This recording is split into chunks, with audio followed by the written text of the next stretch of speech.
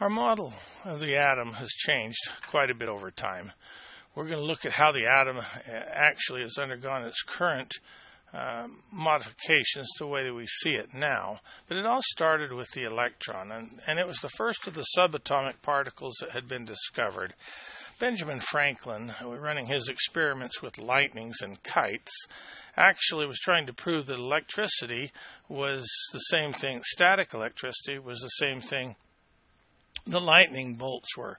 There's an experiment you can do with a simple balloon. You can blow the balloon up, tear up a sheet of paper into very, very fine particles, rub the balloon on your head, and it'll actually pick up the uh, particles.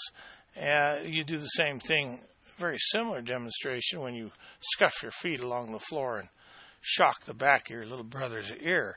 Um, that static electrical charge is just a dissipation of electrons from a charged body. So, where is the electron and what is it? These kind of experiments really stumped scientists for many years.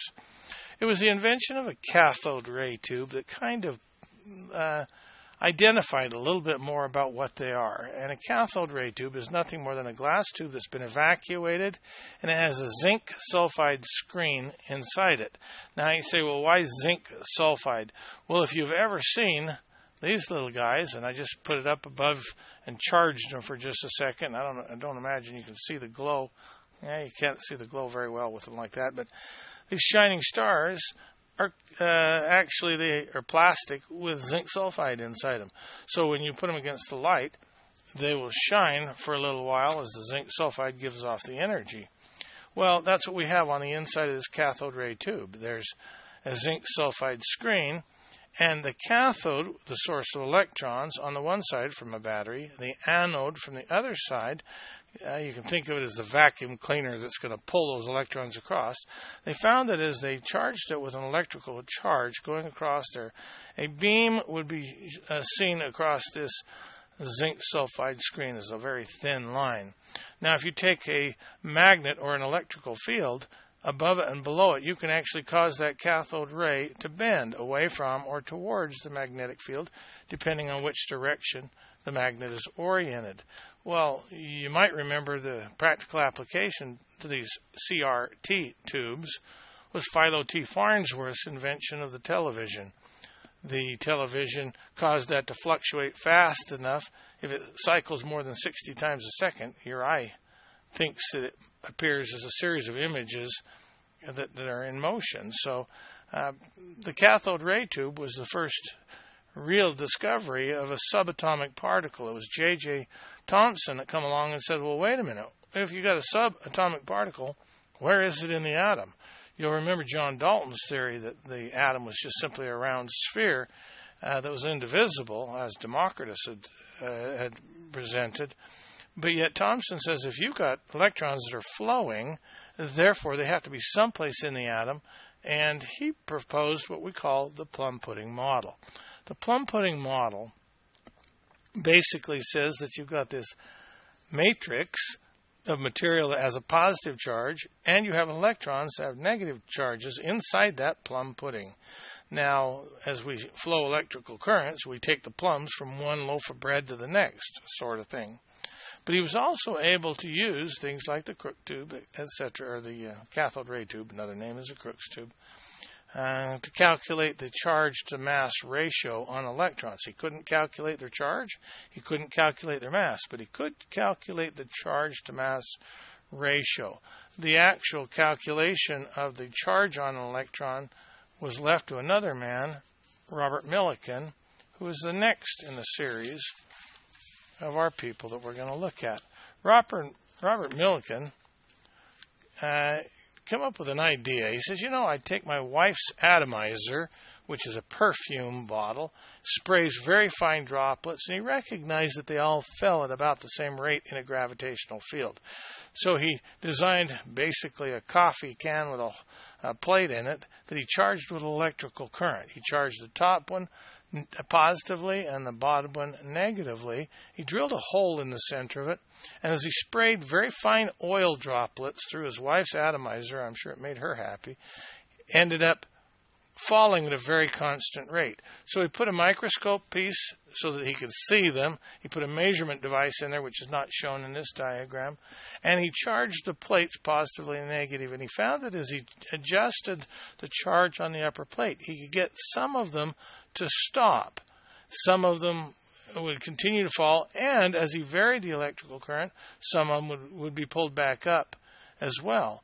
So he started calculating the various electrical charges that would cause this. And as he did so, he found that they were all whole number multiples of each other. Now that's kind of critical because think about what he had actually done. As he'd put this ionizing radiation on each of the droplets, some of the droplets all falling at the same rate, but as he varied them, we figure he may have put one electron on one, two electrons on another, three electrons on, on another. And as he increased the voltage, he could get them to fall or rise at different rates based on the number of electrons that were present. So from that, he was able to actually calculate the charge on the electron. And if you know the charge on the electron, you can calculate the mass from the previous experiment. So we find that the mass of an electron to be 1 or 9.1 times 10 to the minus 28 grams, which is extremely small, or 1 1840th part the mass of a proton. So those numbers, this one is probably more important than this one at this point. Next experiment that comes along says, okay, now, well, if we've got electrons, we now know their charge and their mass, let's discover something about this plum pudding model. Now, you have to see this plum pudding model as well. This is basically raisin loaf with a, uh, a bunch of electrons stuffed through it. Then it ought to be kind of easily to penetrate. So, Ernest Rutherford designs an experiment called the gold foil experiment. He took another zinc sulfide screen, wrapped it around the outside, of a uh, piece of gold foil. He took a lead block and drilled a hole in it and put some uh, material like uranium that would produce alpha particles, and he would shoot that directly at the gold foil. Now, the theory was if the atom was a mushy raisin loaf, all the alpha particles would just go screaming straight through that mushy loaf of an atom. It makes complete sense. The alpha particle was known at the time to be the most massive material on the Earth. And so as he aimed those through there, most of the alpha particles went through unobstructed. But every once in a while, he would catch a flash at weird angles, and even some of them not only were at weird angles, were being reflected back. Now, that causes a real problem for a physicist that's throwing the most dense matter on the Earth at something that's supposed to be a mushy little uh, raisin loaf. And what he determined was that there must be something in the center of that atom, in the gold atoms, that was more dense than the alpha particle. And he proposed a new model known as the nuclear model, get my right sheet of paper here.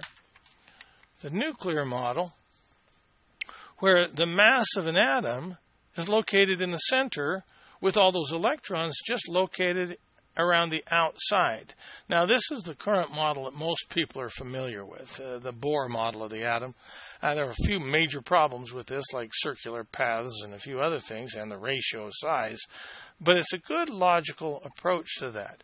If we're deflecting those alpha particles in odd directions, that center must be more dense than the alpha particle. Well, now we understand an alpha particle is nothing but a nucleus of a helium atom, so it's similar to that, except smaller, and it doesn't have any electrons. So, by calculation of the volume of the atom to the volume of the nucleus, based on how many um, alpha particles went straight through versus how many were deflected, we find that the mass is located in the center, with most of the atom being empty space. The vast majority of that. I've heard uh, analysis all the way from if you put the uh, uh, proton up to the size of a pea, putting it in the center of a football field, uh, the nearest electrons flying around up in the cheap seats. Another model says that if we blow the nucleus up to the size of a golf ball, the electron's the size of a fly, which is pretty accurate relative to that. But the nearest fly to that golf ball would be about a mile away. So, no matter how you look at it, the atom is basically empty space with a very dense nucleus at its center with the electrons around the outside. Now, I tell my students that basically we're all illusions. If that if we're that much of us as empty space, uh, well, why why can't we see right through us? Well, we sort of.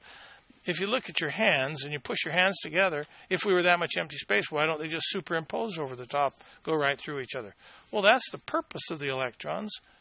Negatively charged atoms re- repel other negatively charged atoms with their electron clouds, and it, that force is great enough to not allow your hands to push completely together. Later on, the neutron was discovered by James Chadwick in 1935, and that altered the complete approach of the atom. Now we know about electrons. We discovered the nucleus. We isolated neutrons. The remaining particle then would be the proton in the center, and we have our completed model of the atom.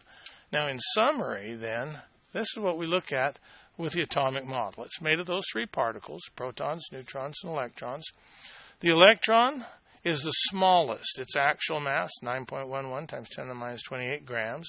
Its relative mass is 1 1840th part of a proton. Its relative charge is 1 negative, which is the same charge but opposite of a proton. Its symbol is E negative, and it's located in the area around the nucleus. The proton, with a P plus indication, It's found in the nucleus with a relative mass of or le- relative electrical charge of plus 1, the opposite of an electron. Its mass is 1, the same as a neutron. Its actual mass, 1.673 times 10 to the minus 24 grams, very, very small. The neutron, N0, also found in the nucleus. It has no electrical charge at all. It affects nothing but the mass of an atom. And it has a relative mass of 1, and it's about the same mass as a proton. But it is unique to note this. This comes in later on. You'll notice that out to four significant figures, they're about the same mass.